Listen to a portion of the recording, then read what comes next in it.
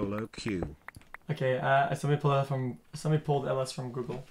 It's um, LS, aka Low Standards. He's a commentator for the LCK and often ridiculed for his annoying personality and questionable game knowledge. He is specifically known for his Annie and Tahm Thomas Kench two-trick Pony in low platinum solo queue.